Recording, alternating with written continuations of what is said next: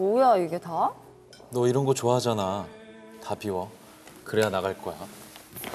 뭐? 음식 먹으면서 잠깐 이것도 좀 봐봐. 이건 뭐야? 난 첫 번째 집이 마음에 드는데 넌 어떻게 생각해? 무슨 집? 아, 뭐야 알아듣게 얘기해봐 네가 살 집 하나 고르라고 지금 거기 있는 집들 중 말이야. 잠깐만 내 집? 음. 뭐 그동안은 나영사님 집이라 안심했는데 이제 산꼭대기 니네 집으로 다시 들어간다며. 이참에 이사해. 내가 도와줄게. 나 우리 집 나쁘지 않아 오래 살아서 위험한 것도 모르겠고 그럼 올라갈 때마다 동욱이 생각할래?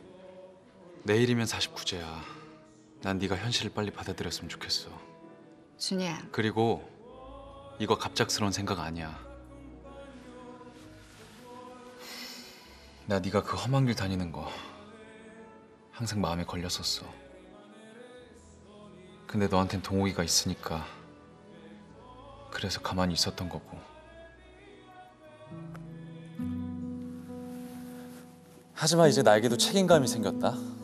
친군 이제 우리 둘뿐이야 순정아.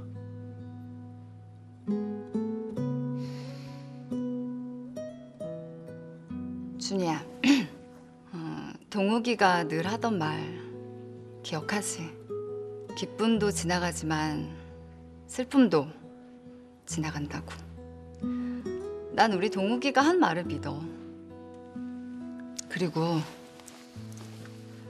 오늘 이거 돌아왔다. 생각도 못하고 있었는데 49제 앞두고 딱 돌아온 거야.